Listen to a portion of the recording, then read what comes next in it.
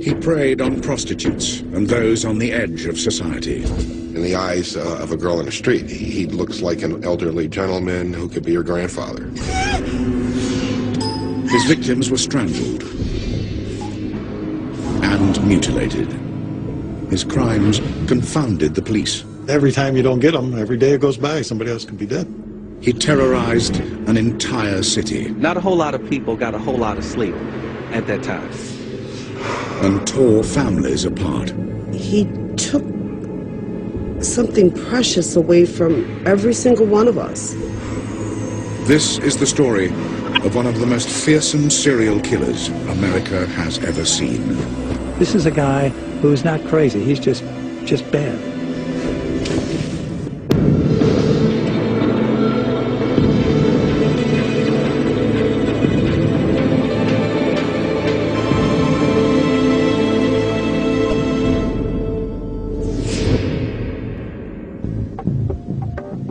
Rochester lies on the banks of the Genesee River in the state of New York.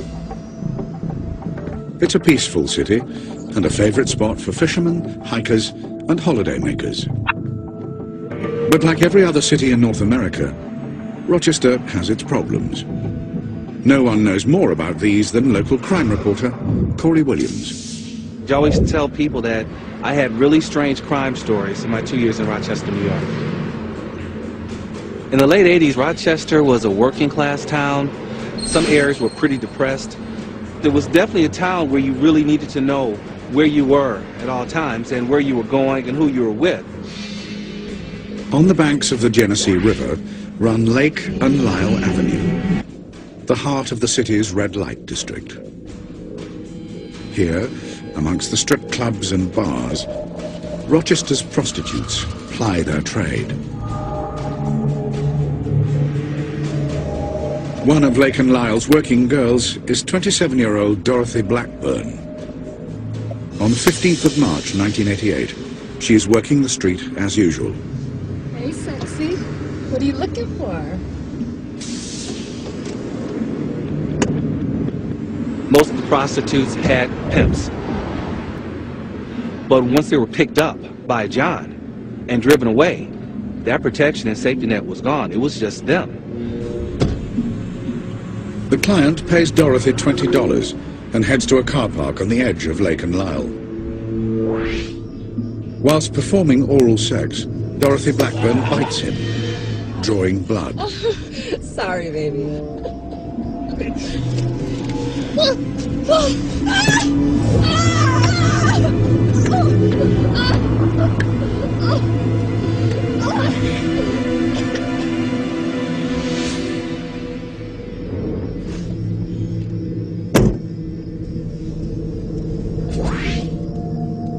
With Dorothy Blackburn drifting in and out of consciousness, her attacker heads to the secluded countryside by the Genesee River. People who live and do their things in the street, they do feel invincible. I can take care of myself. I'm tough. You're not so tough when there's someone who's bigger than you or someone has to drop on you. When you have somebody whose whose hands are around your neck or if they have you trapped in a car or in a wooded area where you can't scream for help.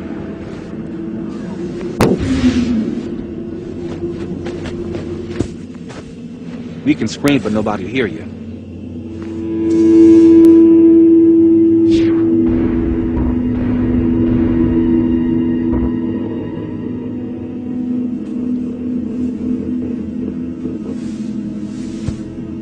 The killer dumps Dorothy's body in an isolated creek.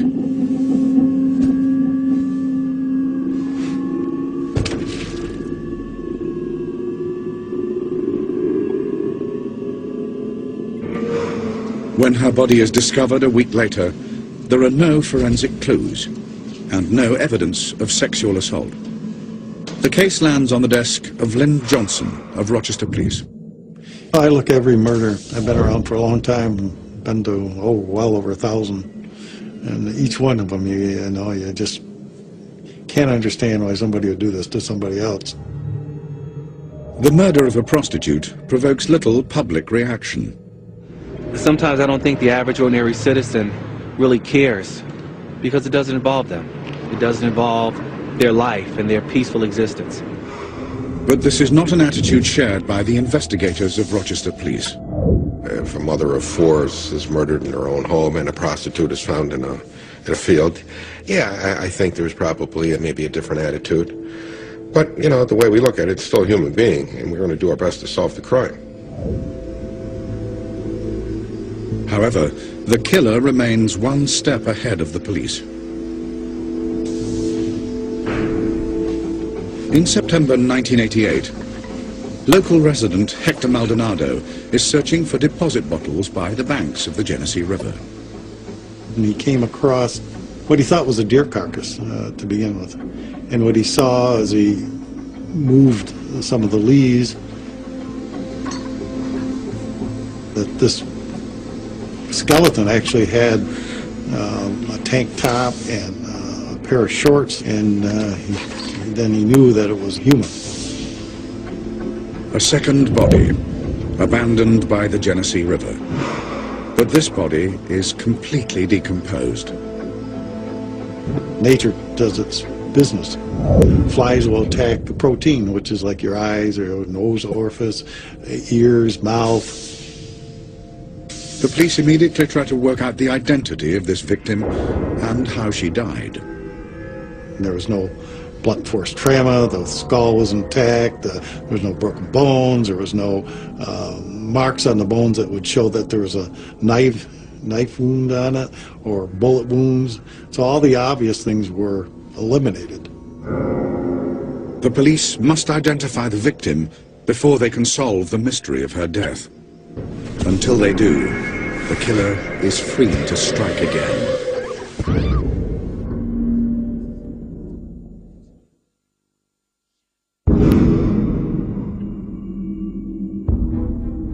September 1988, Rochester, New York.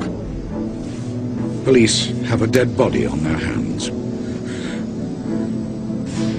A woman found by the banks of the Genesee River. But the police need help to identify the body. They call in forensic anthropologist William Rodriguez. Without an identification of a victim, many times the crime remains unsolved. Decomposition has left virtually no forensics to work with. In a wooded and a wet environment, the body is going to decompose very rapidly because of that environment. Nonetheless, there is one critical clue to suggest how this person died. There is a small bone in the neck known as the hyoid bone. And many times in individuals that are strangled or have some type of blunt force trauma to the neck, a portion or areas of this bone are fractured. It was obvious that this individual had been strangled. By examining the skull and estimating tissue depth, Dr. Rodriguez is able to recreate an image of the victim.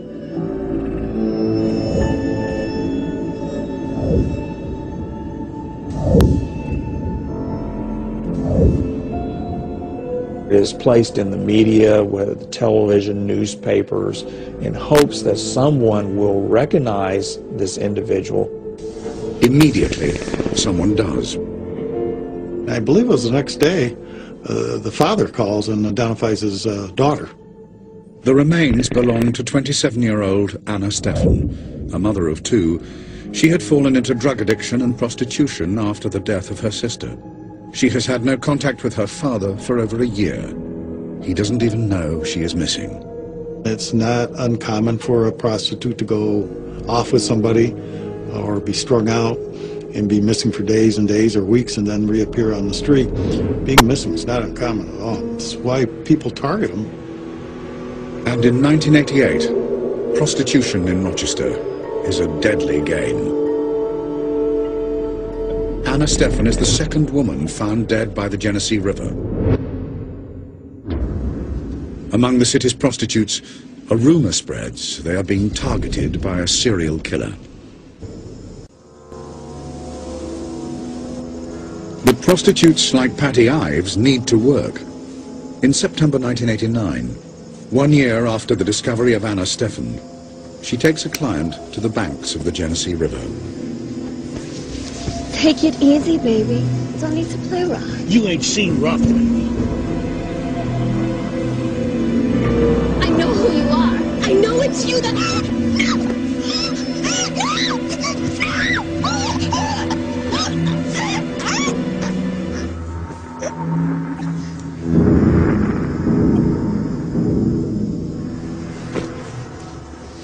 Four weeks later, the remains of Patty Ives are discovered by children playing nearby. As with Dorothy Blackburn and Anna Steffen, there is little evidence of sexual assault and no forensic clues. Rochester police are alarmed that three prostitutes have been murdered in quick succession.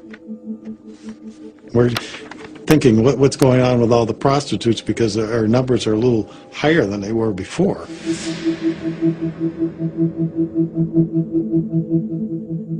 One of Captain Johnson's most experienced men, investigator William Barnes, has a theory. We specialized in homicides for 13 years, and uh, this was different.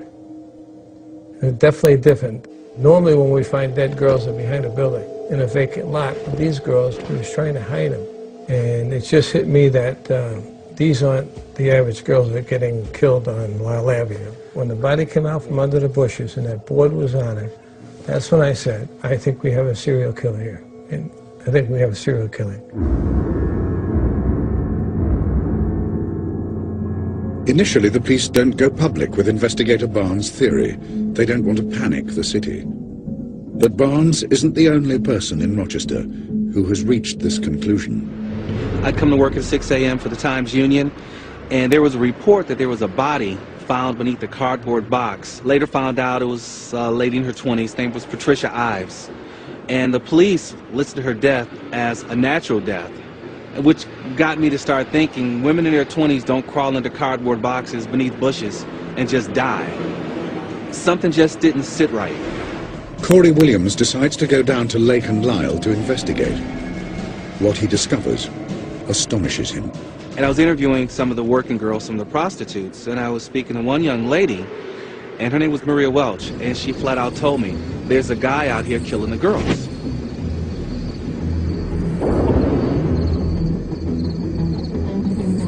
Hey, baby. Want a date?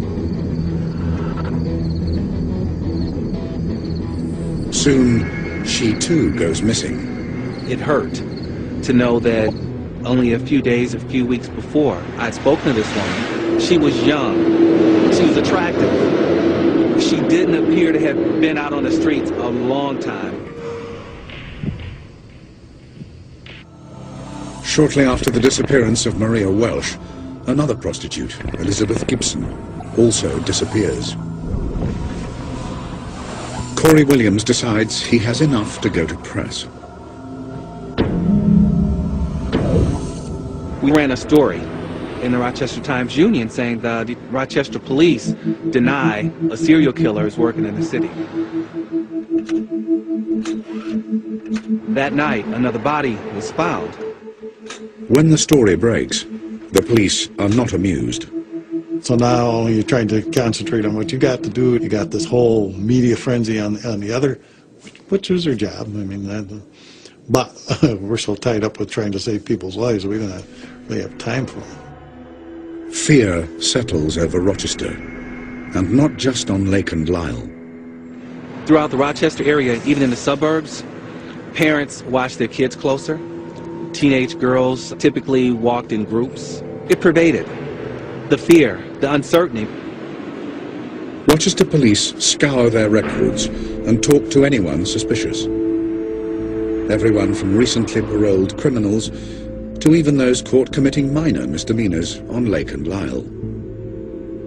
One of the things was uh, checking every parking ticket going back for two years that was issued in all those areas, going through everyone, then running it and finding out who it is, where they live, checking our database against them. But the trail stays cold. With little to go on, Rochester police investigators Barnes and Borriello work their contacts on the street. When somebody wanted to tell us something, we sat down and listened. I think that we put trust into people, and uh, whether they're prostitutes or whatever they are, you just got to take the time to talk to them, treat them nice, get them a coffee, whatever.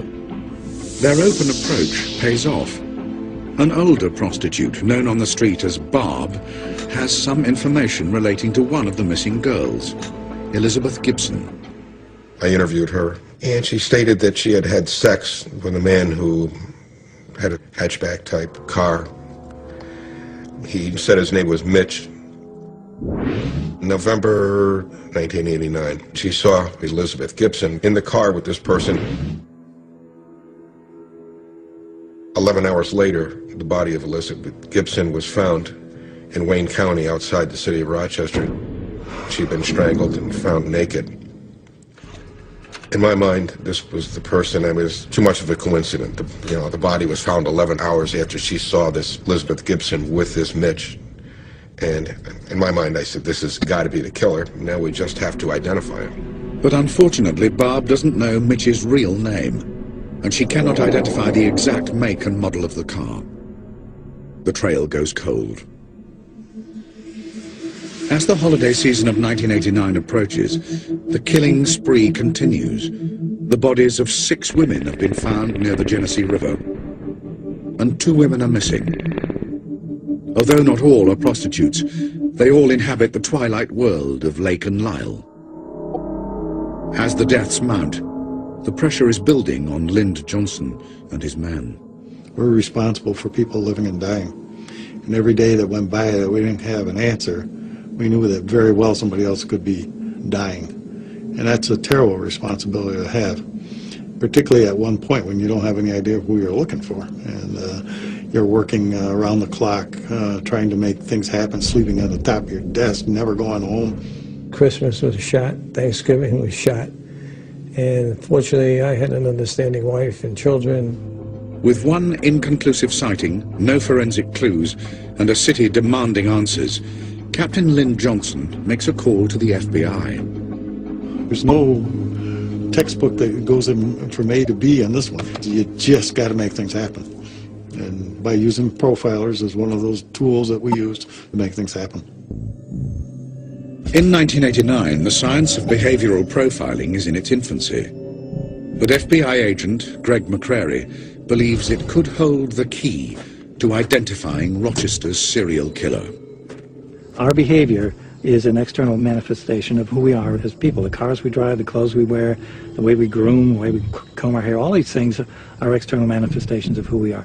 All we're doing in the criminal arena is looking at the method and manner in which the crime is committed and then drawing logical inferences about that from the crime scene as to the type of individual that has, has committed the crime. In a homicide or serial murder case, offender has to make many choices, and we're going to analyze every choice. Victim, who's the victim? Method and manner of death, body disposal site. In other words, our job is to suggest investigative techniques and strategies that they have yet to employ. McCrary's first act is to visit the deposition sites of the bodies. The reality is, offenders choose places they're comfortable and familiar with to dump bodies. If you just think about it, if you had a body to dump, where would you go? Would you go someplace you've never been and you don't know and you risk being interrupted or detected? The method of killing also strikes McCrary as significant. It wasn't a ligature strangulation, but with some sort of intense pressure. This indicated to us this was a fairly strong guy.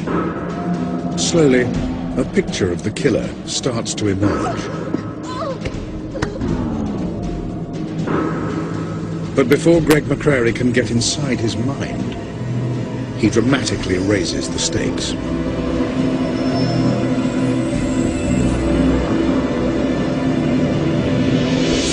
Rochester, New York. In the previous 18 months, six women have been killed and two... The corpses have been dumped by the Genesee River. The police have one lead. A prostitute called Barb had seen one of the victims get into a hatchback car shortly before her death. But the driver's identity remains a mystery. Then, on Thanksgiving Day, there is a dramatic and gruesome development. The body of June Stott, who had gone missing four weeks previously, turns up by the Genesee River. She has been mutilated, cut open from the neck to her navel. This was unusual. We hadn't seen this in any other uh, of the victims up to this point. So first thing we had to decide is, is this part of this sequence or is this something different? June Stott is not a prostitute. But like the other victims, she drifted through the twilight world of Lake and Lyell. There is no sign of sexual assault, and once again, no forensic evidence. But then, Greg McCrary notices something potentially significant. Looking at the body itself, the lividity was wrong. Lividity is how the blood settles. Uh, anytime a body dies, gravity pulls the blood down. June was on her face, uh, yet the lividity was in her back. Uh, so anytime you have blood defying gravity, you have to pay attention. Something's wrong. McCrary concludes that the killer had returned to June Stott's body and mutilated the corpse sometime after her death.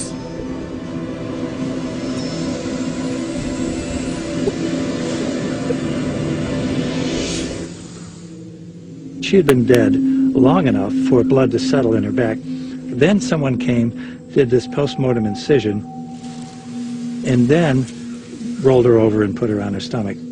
The bottom line is we felt it was part of the series, uh, ultimately, uh, that this was part of the evolutionary progress of this, this killer, that now he was coming back and engaging in some post-mortem mutilation.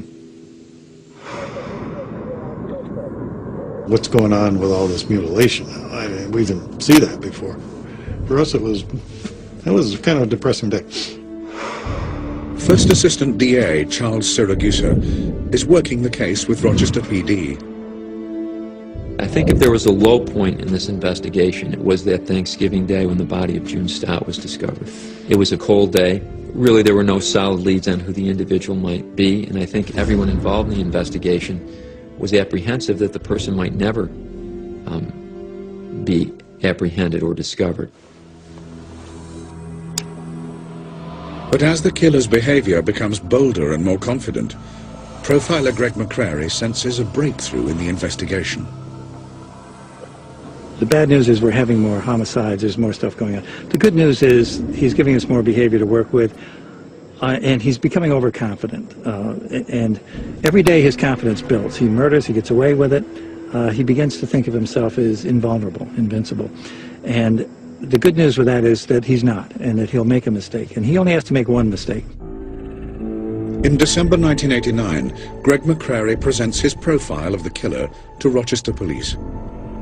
We felt that this was um, probably a white male, lived and worked in the Rochester area. We felt that maybe one of the motivating things could be that he was unable to perform. And then whose fault would that be? Well, not his, her. He's killing them, uh, and they're terrified, yet he has no trouble getting victims. How is that? How can that be? And the answer is that he's a regular customer. Hey, baby. Want a date? And they're not afraid to get in the car with him. It's just that some nights this goes terribly bad. We felt that he was extraordinarily ordinary. He was right in front of everybody, in front of the, the uh, prostitutes, his potential victims, in front of the police, and nobody saw him. Everybody's looking for a monster out there, uh, when in fact most of these guys are not monsters uh, in, in that regard. They um, walk and talk and act a lot like the rest of us do. Not everyone in Rochester PD is convinced that McCrary's detailed profile will be any use. Being a career law enforcement guy, I can tell you there's a sort of a bias against anything psychological. And that was what I found in Rochester. We had some people wanted, who wanted us there, some people who weren't sure what we were going to do, uh, and then other people who felt that this was just a complete, uh, complete waste of time. But McCrary is convinced his profile holds the key to the killer's identity. He believes the killer will return to mutilate his victims, just as he had done with June Stott. For this reason, McCrary urges the police to increase aerial surveillance of the Genesee River area. Where would you logically search? Where he's dumping bodies. You allow his behavior to guide our investigation. He was dumping in streams and waterways, so let's look there. As police helicopters patrol the skies, prostitutes continue to work the streets below, despite the presence of a killer amongst them. They were more concerned about that $20 that was going to get that heroin fix or that cocaine fix or the alcohol, whatever they need, whatever they needed. They were more concerned about getting that than about their safety. Sometimes even families can't get through to them. 24-year-old Darlene Trippi has fallen into a life of drug abuse. Darlene's sister, Pamela Warboys, fears for her safety as more girls go missing. People who are using drugs, they usually distance themselves from their families. If she was into prostitution, of course I want to say and think in my heart, no, but it's a good possibility she was. On the 13th of December, I talked to her about what was going on. And I said to her, Darlene, there's a maniac out there. And she said, don't worry, I'm fine. And I said, okay, so just be careful. That was my last conversation with her. Two days later, Darlene Trippi disappears. I think I knew then that she was dead. Every time the phone rang, you know, we'd all just hold our breath hoping it was her. I knew. I don't think anybody else in the family did, but I knew that she was gone. Investigators William Barnes and Leonard Borriello redouble their efforts to persuade prostitutes to stay at home. On the 17th of December, they speak to June Cicero, one of the toughest girls on Lake and Lyell. So are we gonna do something or what, honey? I ain't got all night. We uh, told her to go home. And she said, no, she said, I'm working, I'm making a lot of money tonight, I'm not gonna go home. I said, June, listen, just go home tonight.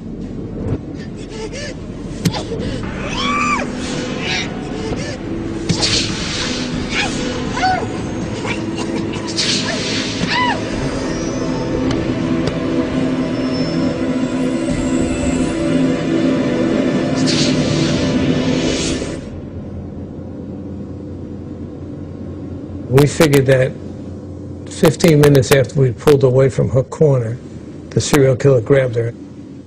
She was gone. But now, thanks to Greg McCrary's profile, they have a hunch what he will do next. He was coming back and engaging in postmortem mutilation with his victims, and in that behavior was a potential opportunity to catch this guy. The investigator's eye in the sky is John McCaffrey of the New York State Police. On the 3rd of January 1990, he is making passes over the Genesee River, as recommended by Greg McCrary. I was looking for water and things like that where he may dispose of the body where he was comfortable. And that was in the profile the FBI had done. And it was approximately one minute away from Northampton Park that I saw a body underneath the bridge. It was at that time that I saw the car. The Passenger door was open, and the car proceeded to leave the area. So we followed the car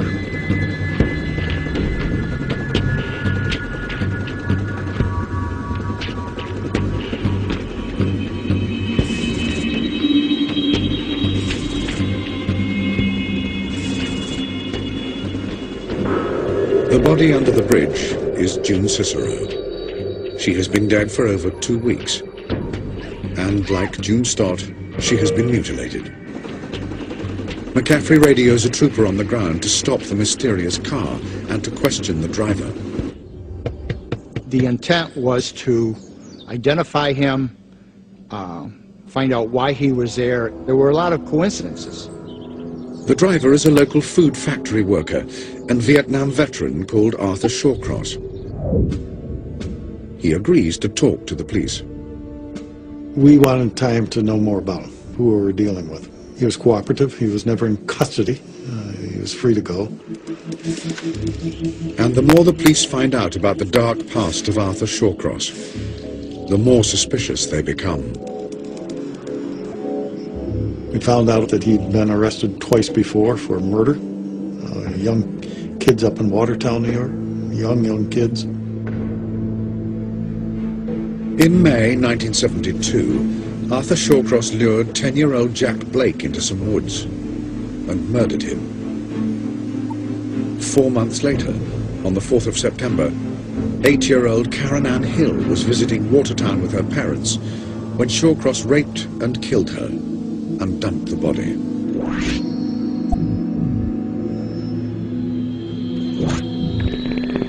Shawcross was sentenced to 25 years in jail, but paroled after 15 on the advice of prison psychiatrists. In March 1987, the parole board settled him and his girlfriend, Rose Walley, in Rochester. But the police had not come across his name in their sweep of paroled murderers living in the city. The parole board had originally tried to settle Shawcross and Rose Walley in the towns of Binghamton and then Delhi in New York State. But local residents had physically chased them out of each town when they learned of his past.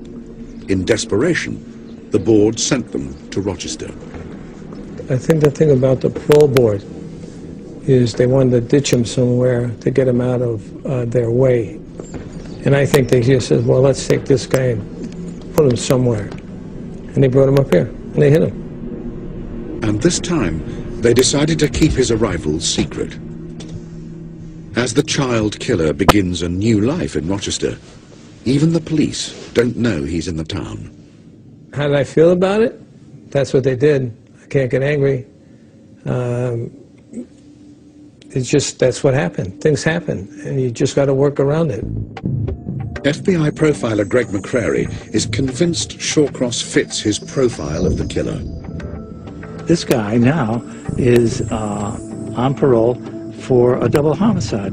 My experience has been is that when you put these guys in prison, it's just like putting them on hold uh, for a period of time, and then when they get out, they pick up exactly where they they, they left off.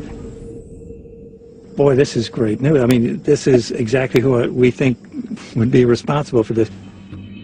Some experts consider killing children and killing adults to be two very different crimes, unlikely to be committed by the same offender. But in the case of Arthur Shawcross, McCrary sees a possible connection. I think the commonality is, is simply the vulnerability of the victims, that these are easy victims to get. The kids followed them, they wanted to go fishing with them, and prostitutes are easy victims, if you will. They'll get in the car with anybody. The violent past of Arthur Shawcross suggests this man could be the killer. But the police need concrete evidence if they're to make a conviction stick. If you were asking law enforcement for their hunches, most probably would have said, yeah, this guy's a good bet. But hunches don't equate with a legal requirement. There's still a lot of work for the police to do.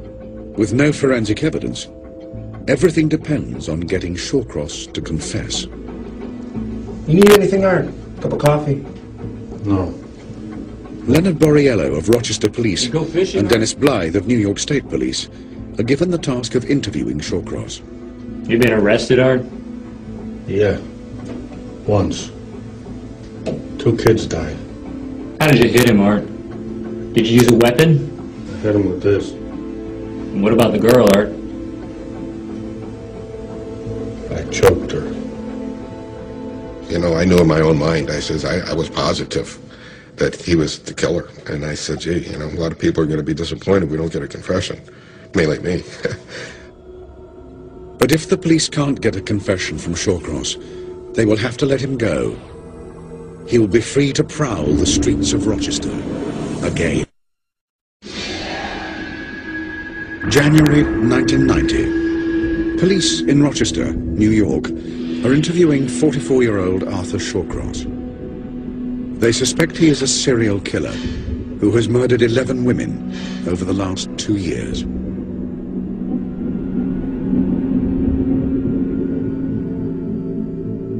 The interview was critical. There was no smoking gun. There was nothing that linked him directly to these crimes. It was circumstantial at that point. So getting him to admit to even one of these things would be a huge, huge event. You treat a, you know, a suspect, you know, with uh, with kid gloves. I mean, you, you want to be friendly with him. You want to assist him, and you know, show him that you're friendly. Uh, let him see his girlfriend. Let him see his wife. Does he want coffee? Does he want something to eat? I mean, you know, basically you're his friend. Or let him believe that you're his friend. You go fishing, Art? Yeah. I like to fish, sure. Yeah. Where do you like to fish, Art? Up on Lake Ontario? No. Lake Ontario's dead. Everybody knows that. The investigators decide to push Shawcross on their strongest lead, Elizabeth Gibson, who was seen getting into the car of a man called Mitch hours before her death. The police track down Barb, the prostitute who made the sighting. She immediately confirms the man in the interview room is the man she knows as Mitch. I talked to Investigator Blythe, and I told him, I says, let's go for the Liz Gibson confession first. I says, we have all the information in the world. That's our best case. We get that, then we've got the rest of the day to get the rest. You did Liz Gibson, didn't you? No, I didn't. Come on, don't bullshit us. We know you did. I don't know what you guys are talking about. Oh. Come on, Art, it's all over. We know. Barb saw you with Gibson. You were seen with that woman 11 hours before she shows up dead. Is that a coincidence? Is that what you're Yeah, trying to yeah, tell us? coincidence. Come on, Art, we know it's you. Now, we treated you well, right? Why are you guys fucking with me? All right, Art, calm down. Confronting Shawcross hasn't worked. The investigators need to come up with a new tactic, and quick. Dennis Blythe remembers Shawcross had seemed concerned about Clara Neal, a woman with whom he is having an affair, and whose car he was driving when he was taken in. That car of yours, Art? Who drives that car apart from you? Think about it. We all know the car belongs to Clara. We'd hate to think Clara was involved in this.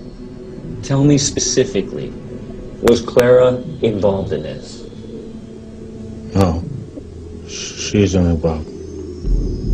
which is a huge statement, meaning that she's not, but perhaps I am. And then that was the tipping point. At that point, I, I don't think he had any choice. Okay. Then why don't you tell us about Liz Gibson? We know this is hard, Art. We know.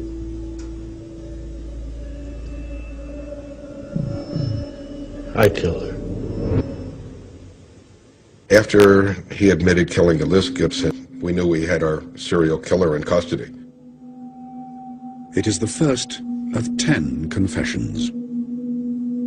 He went through the pictures uh, like he was going through a deck of cards, throwing the pictures of the girls that he was responsible for killing into one pile, and the other ones that he wasn't responsible for in another pile. Yeah, her. Yeah, her too. Yeah. We came out of the interview room, and everybody was crying. Yeah, her. We were just so proud to have this guy in custody, and he wouldn't be able to hurt anybody else. One of the murders he confesses to is Darlene Trippi. She was killed um, December 15th of 89 and found in January of 1990. So in a way, I consider my family, if you can call us lucky, there were some families that went years, years and years without knowing what happened to their loved one. And luckily, we didn't have to suffer that long. At his trial in November 1990, Shawcross blames his crimes on post-traumatic stress disorder, the result of horrific experiences in the Vietnam War. Michael Stone is a psychologist who interviewed Shawcross about these experiences. His stories uh, all involve uh, heroic exploits, uh, like you would see in, in some B movie. Uh, the one he told me, for example, there was a girl with a belt of grenades around her, and he managed to, you know, subdue her and, and behead her and stick her head on a post, uh, you know, as if a warning to the others, you know, don't mess with me. But Shawcross saw no combat in Vietnam at all. He was only responsible for handing out uniforms to other soldiers. Whilst Shawcross's stories are not true, they provide insight into his state of mind. His exploits in Vietnam focus on women and has the quality of portraying him as a Superman. You ain't seen Roughlin. And a Superman, you know, who is by no means above uh, wreaking vengeance on women that, as we would say, may have, quotes, done him wrong.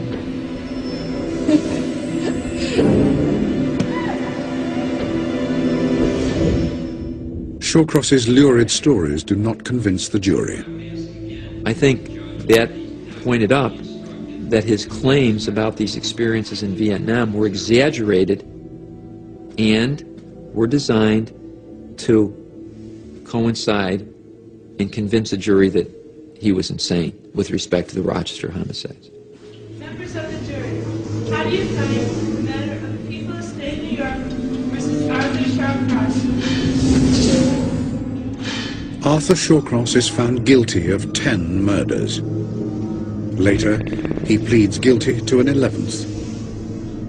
He is sentenced to at least 250 years in jail. As much as justice can be done, and I would tell, I told any uh, of the survivors of the victims in this case, the best we can do is see that justice, whatever that means, the justice occurs. And I think in the case of Arthur Shawcross, the verdict was a just verdict. The new science of profiling has proved vital in building a picture of the killer.